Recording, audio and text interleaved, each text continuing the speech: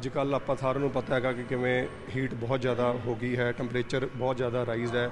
ਤਾਂ ਇਸ ਚੱਕਰ ਕਰਕੇ ਆਪਣੇ ਜਿਹੜੇ ਘਰੇ ਰੱਖੇ ਹੋਏ ਡੋਮੈਸਟਿਕ ਐਨੀਮਲਸ ਨੇ, ਜਿਵੇਂ ਕਿ ਆਪਾਂ ਖਾਸ ਤੌਰ ਤੇ ਮੱਝਾਂ, ਗਾਈਆਂ, ਕੁੱਤੇ ਆਪਾਂ ਘਰੇ ਰੱਖਦੇ ਆ ਇਹਨਾਂ ਤੇ ਵੀ ਬਹੁਤ ਜ਼ਿਆਦਾ ਟੈਂਪਰੇਚਰ ਦਾ ਫ਼ਰਕ ਪੈ ਰਿਹਾ ਹੈ।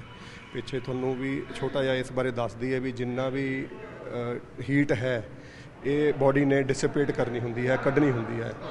ਆਲਰੇਡੀ ਹੁਣ ਜਿਵੇਂ ਐਨੀਮਲ ਹੈ, ਕੋਈ ਐਡਾ ਵੱਡਾ ਪਸ਼ੂ ਹੈ, ਇਹਦੇ ਵਿੱਚ 100 ਕਿਰਿਆਵਾਂ ਚੱਲ ਰਹੀਆਂ ਅੰਦਰ, ਜਿਵੇਂ ਆਪਣੇ ਬਾਡੀ ਦੇ ਵਿੱਚ ਚੱਲ ਰਹੀ ਹੈ, ਇੱਕ ਹਿਊਮਨ ਬਾਡੀ ਹੈ ਜੇ, ਉਹਦੀ ਐਵਰੇਜ ਲਾਈ ਜਾਵੇ ਤਾਂ ਇੱਕ 100 ਵਾਟ ਦੇ ਬੱਲਬ ਜਿਵੇਂ ਜਗਦਾ ਹੈ। ਤੇ ਜੇ ਆਪਾਂ ਉਹਨੂੰ ਕੰਪੇਅਰ ਕੀਤਾ ਜਾਵੇ ਇੱਕ ਐਨੀਮਲ ਨਾਲ, ਤਾਂ ਮੰਨ ਕੇ ਚੱਲੋ 5 ਟਾਈਮਸ ਨੇ ਆਪਣੇ ਘੱਟੋ ਘੱਟ 5 ਇੱਕ ਛੋਟਾ ਐਨੀਮਲ ਇਹ ਜਿਹਾ ਕੋਈ ਮੱਝ, ਉਹ ਪੰਜ ਬੱਲਬਾਂ ਦੇ ਬਰਾਬਰ 500 ਵਾਟ ਦੇ ਬੱਲਬ ਉਹਦੇ ਅੰਦਰ ਚੱਲ ਰਹੇ ਨੇ ਇਟ ਮੀਨਸ ਇੰਨੀ ਉਹ ਮੈਟਾਬੋਲਿਕ ਹੀਟ ਆਲਰੇਡੀ ਪ੍ਰੋਡਿਊਸ ਕਰ ਰਿਹਾ ਹੈ।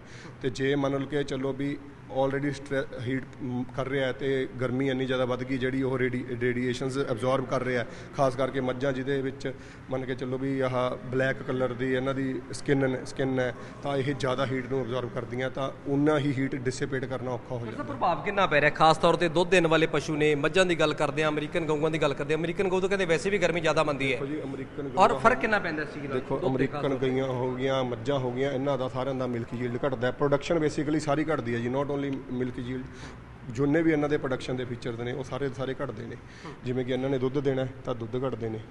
ਠੀਕ ਹੈ ਹੀਟ ਚ ਆਉਣਾ ਹੁਣ ਆਬਵੀਅਸ ਜੀ ਗੱਲ ਹੈ ਵੀ ਜ਼ਿਆਦਾ ਹੀਟ ਚ ਆਪਣਾ ਗਰਮੀ ਹੋਣ ਕਰਕੇ ਹੀਟ ਚ ਸਹੀ ਤਰੀਕੇ ਨਾਲ ਨਹੀਂ ਆ ਪਾਉਂਦੇ ਜਾਂ ਹੀਟ ਚ ਆਉਂਦੇ ਆ ਤਾਂ ਉਹਦੇ ਆਪਾਂ ਨੂੰ ਸਿੰਪਟਮਸ ਨਹੀਂ ਦਿਖਾ ਸਕਦੇ। ਤਾਂ ਕਈ ਵਾਰੀ ਕੀ ਹੈ, ਪਸ਼ੂ ਪਾਲਕ ਇਹਨੂੰ ਮਿਸ ਕਰ ਜਾਂਦੇ ਨੇ ਵੀ ਸਾਡਾ ਪਸ਼ੂ ਕਦੋਂ ਬੋਲਿਆ ਸੀ ਤੇ ਕਦੋਂ ਹੀਟ ਚ ਆਇਆ, ਤਾਂ ਕਰਕੇ ਆਬਵੀਅਸ ਜੀ ਗੱਲ ਹੈ। ਤਾਂ ਜਿਹੜਾ ਇਹਨਾਂ ਦਾ ਗਾਂ ਗਰਭਧਾਰਨ ਹੈ, ਉਹ ਲੇਟ ਹੋ ਜਾਂਦਾ ਲੇਟ ਹੋਣ ਕਰਕੇ ਦੁੱਧ ਦੀ ਓਵਰਆਲ ਪ੍ਰੋਡਕਸ਼ਨ ਪਰ ਐਨਮ ਘਟਦੀ ਘਟਦੀ ਗਰਮੀ ਚ OPD ਕਿੰਨੀ ਵੱਜ ਜਾਂਦੀ ਹੈ ਹਸਪੀਟਲਾਂ ਦੇ ਵਿੱਚ? ਦੂਸਰੇ ਹਸਪੀਟਲ ਮੈਂ ਗਿਆ, ਉੱਥੇ ਬਿਮਾਰਾਂ ਦੀ ਗਿਣਤੀ ਵੱਧ ਗਈ। ਬਜ਼ੁਰਗ, ਬੱਚੇ ਇਹ ਜਾਨਵਰ ਕਿੰਨੇ ਪਰੇਸ਼ਾਨ ਹੋ ਰਹੇ ਨੇ ਔਰ OPD ਪਹਿਲਾਂ ਦੇ ਮੁਕਾਬਲੇ ਗਰਮੀ ਚ ਕਿੰਨੀ ਵੱਧਦੀ ਹੈ? ਦੇਖੋ ਜੀ ਹੀਟ ਸਟ੍ਰੈਸ ਦਾ ਫ਼ਰਕ ਤਾਂ ਪੈਂਦਾ ਹੀ ਹੈ।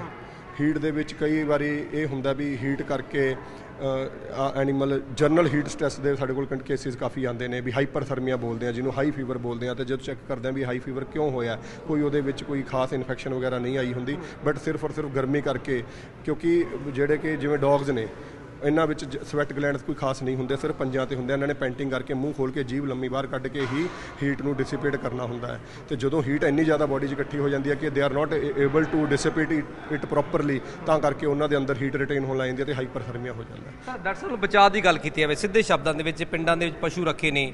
ਬਚਾਅ ਕੀ ਹੈ? ਜੇ ਘਰੇ ਬਚਾਅ ਕਰਨਾ ਹੋਵੇ ਗਰਮੀ ਤੋਂ। ਦੇਖੋ ਜੀ ਅੱਜ ਦੇ ਟਾਈਮ ਤੇ ਤਾਂ ਇਹੀ ਕਹਿੰਦੇ ਆ ਵੀ ਤੁਸੀਂ ਜਿਹੜੇ ਜਿੰਨੇ ਵੀ ਆਰ ਸ਼ੈੱਡ ਪਾਏ ਨੇ। ਸ਼ੈੱਡ ਖੁੱਲੇ ਹਵਾਦਾਰ ਹੋਣੇ ਚਾਹੀਦੇ ਵੈਂਟੀਲੇਟਡ ਫੁੱਲ ਵੈਂਟੀਲੇਟਡ ਹੋਣੇ ਚਾਹੀਦੇ ਉੱਥੇ ਪੱਖੇ ਲੱਗੇ ਹੋਣੇ ਚਾਹੀਦੇ ਆ।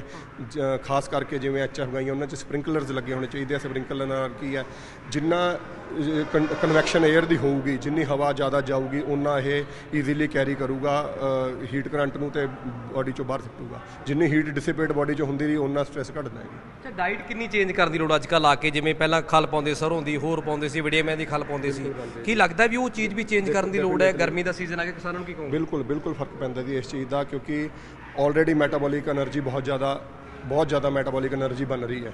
ਜਿੰਨੇ ਜ਼ਿਆਦਾ ਮੈਟਾਬੋਲਿਕ ਨਾ, ਇਹਨਾਂ ਦਾ ਡਰਾਈ ਮੈਟਰ ਇਨਟੇਕ ਆਟੋਮੈਟਿਕਲੀ ਆਪ ਹੀ ਘਟ ਹੋ ਜਾਂਦਾ ਜੇ ਆਪਾਂ ਧੱਕੇ ਨਾਲ ਖਵਾਉਣ ਦੀ ਕੋਸ਼ਿਸ਼ ਕਰਾਂਗੇ, ਜੇ ਤੁਸੀਂ ਕਹੋਗੇ ਵੀ ਐਨੀਮਲ 30 ਕਿਲੋ ਚਾਰਾ ਲੈਂਦਾ ਤੇ 2 ਕਿਲੋ ਫੀਡ ਡੇਲੀ ਦੀ ਲੈਂਦਾ ਹੀ ਲੈਂਦਾ, ਤਾਂ ਗਰਮੀ ਦੇ ਹੀਟ ਸਟ੍ਰੈਸ ਨਾਲ ਇਹਨਾਂ ਦਾ ਡਰਾਈ ਮੈਟਰ ਇਨਟੇਕ ਘਟ ਜਾਂਦਾ ਕਿਉਂਕਿ ਜਿੰਨਾ ਜ਼ਿਆਦਾ ਜ਼ੋਰ ਹੀਟ ਡਿਸਪੇਸ਼ਨ ਤੇ ਲੱਗਣਾ, ਜਿੰਨਾ ਦਾ ਸਲਾਈਵਾ ਬਣਨਾ ਹੈ, ਥੁੱਕ ਬਣਨੀ ਹੈ, ਜਿਹੜੀ ਅੰਦਰ ਲੈ ਕੇ ਜਾਣੀ ਹੈ, ਉਹ ਸਾਰੀ ਬਾਹਰ ਨਿਕਲਣ ਲੱਗ ਜਾਂਦੀ ਹੈ। ਹੀਟ ਸਟ੍ਰੈਸ ਨਾਲ ਬਾਹਰ ਆਣ ਲੱਗ ਜਾਂਦੀ ਹੈ, ਤਾਂ ਸਲਾਈਵਾ ਡਰਾਈ ਹੋ ਜਾਂਦਾ ਘਟ ਘਟ ਜਾਂਦਾ ਘਟ ਅਮਾਉਂਟ ਕਰਕੇ ਬਾਡੀ ਦੇ ਵਿੱਚ ਐਸਿਡੋਸਿਸ ਰਹਿਣ ਲੱਗ ਜਾਂਦੀ ਹੈ। ਐਸਿਡੋਸਿਸ ਹੋਣ ਕਰਕੇ ਸਾਰਾ ਇਨਫਰਟੀਲਿਟੀ ਹੋ ਜਾਂਦੀ ਹੈ ਫਰਟੀਲਿਟੀ ਘਟ ਜਾਂਦੀ ਹੈ ਲੈਮਿਨੇਟਸ ਪੈਰਾਂ ਦੀ ਪ੍ਰੋਬਲਮ ਸ਼ੁਰੂ ਹੋ ਜਾਂਦੀ ਹੈ ਇਹ ਮਤਲਬ ਵੋਲੇਟਾਈਲ ਫੈਟੀ ਐਸਿਡ ਬੰਨੇ ਘਟ ਜਾਂਦੇ ਆ ਤਾਂ ਓਵਰਆਲ ਪ੍ਰੋਡਕਸ਼ਨ ਵੀ ਘਟ ਜਾਂਦੀ ਹੈ, ਤਾਂ diet dry matter intake automatically ਇਹਨਾਂ ਦੀ ਘਟ ਜਾਂਦੀ ਹੈ। ਡੌਗਸ ਨੂੰ ਕਿਸ ਤਰ੍ਹਾਂ ਦਾ ਖਿਆਲ ਰੱਖਿਆ? ਮੈਂ ਵੇਖ ਰਿਹਾ ਸੀ ਕਾਫੀ ਡੌਗਸ ਕਾਫੀ ਨੇ ਛੋਟੇ ਛੋਟੇ ਬੱਚੇ ਵੀ ਡੌਗਸ ਦੇ ਨੇ। ਇਹਨਾਂ ਵਾਸਤੇ ਕੀ ਦੇਖੋ ਜੀ, ਅਸੀਂ ਇਹਨਾਂ ਸਾਰਿਆਂ ਨੂੰ ਨਾਟ ਓਨਲੀ ਡੌਗਸ ਪਸ਼ੂਆਂ ਵੱਡਿਆਂ 'ਚ ਵੀ ਐਡਲਿਬ ਵਾਟਰ ਐਡਲਿਬ ਵਾਟਰ ਮਤਲਬ ਖੁੱਲਾ ਪਾਣੀ, ਠੰਡਾ ਪਾਣੀ ਇਹਨਾਂ ਨੂੰ ਗਰਮੀਆਂ ਦੇ ਵਿੱਚ ਦੇਣਾ ਚਾਹੀਦਾ ਹੈ। ਸ਼ੇਡੀ ਪਲੇਸਿਸ ਦੇ ਹੋਣੇ ਚਾਹੀਦੇ ਨੇ।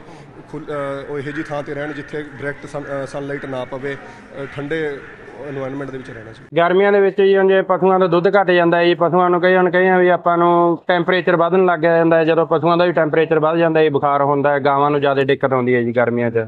ਤੇ ਇਸ ਦੇ ਨਾਲ ਹੀ ਆਪਾਂ ਬਸ ਕਰੀ ਜਾਂਦੇ ਜਿਵੇਂ ਬਚਾਅ ਹੁੰਦੇ ਜੀ। ਕੀ ਪ੍ਰੋਬਲਮ ਕੀ ਹੈ? ਦੁੱਧ ਕਿੰਨਾ ਘਟ?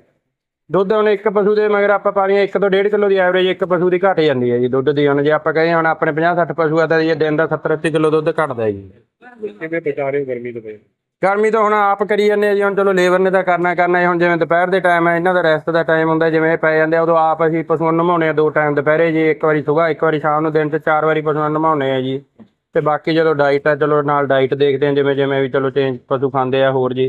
ਤੇ ਗਰਮੀ ਦੇ ਵਿੱਚ ਜਦੋਂ ਆਪਾਂ, ਆਪ ਆਪ ਦੀ ਤੋਂ ਨਹੀਂ ਕੁਝ ਖਾਦਾ ਜਾਂਦਾ ਜੀ, ਪਸ਼ੂਆਂ ਨੇ ਤਾਂ ਆਪੇ ਹੀ ਇਹ ਤੂੜੀ ਬਹੁਤ ਘੱਟ ਖਾਂਦੇ ਆ ਪਸ਼ੂ, ਜਿਵੇਂ ਗਰਮੀ 'ਚ ਆਪਾਂ ਕਹਿ ਲਈਏ ਜੀ। ਤੇ ਇਹਨਾਂ ਨੂੰ ਆਪ ਉਸ ਤਰ੍ਹਾਂ ਦਾ ਦਾਣਾ ਜਾਂ ਕੁਝ ਹੋਰ ਜਿਵੇਂ ਪਾਉਣਾ ਪੈਂਦਾ, ਉਹ ਜਿਹੀਆਂ ਚੀਜ਼ਾਂ ਲੈਂਦੇ ਨੇ।